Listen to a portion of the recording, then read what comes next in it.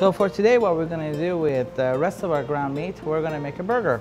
There's good amount of fat content here. We usually want it up to 20% fat. Uh, one of the key things about making a burger is you should not overwork the meat. You wanna bring it together and shape it and cook it. So here, we're not really gonna do much to it. Season it with a little bit of salt and just press it down. What we're gonna do is we're gonna grill this burger patty. We're going to toast our sesame seed uh, bun, bake our bacon, made a little bit of um, secret sauce here. Um, caramelized onions, relish, mayonnaise, um, sambal oelek, uh, some seasoning. And that's what you got right here with ketchup. Red onions, lettuce, cheese. We're gonna grill our burger to medium well, well done.